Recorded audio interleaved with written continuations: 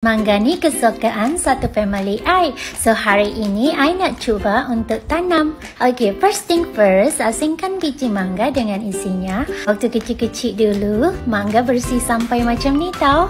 Step seterusnya, potong kelopak biji mangga tu sebab kita nak ambil benih mangga yang tersembunyi dalam kelopak tu. Dah tu kita basahkan dengan air macam ni. Biarkan ia satu hingga tiga hari dalam tu. After three days, benih tadi akan kelihatan kembang macam ni. Dah tiba masa I nak tanam dalam pasu.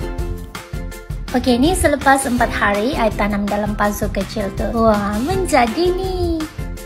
Okay guys, ni hari ke-10 I dah nak pindah pasu yang lebih besar. I pakai baja milagro untuk semua jenis tanaman dari tanah dalam pasu Baja ni sesuai untuk semua jenis tanaman all in one. Itu saja untuk kali ini. Nanti I update lagi kalau mangga ni dah berbuah. Bye!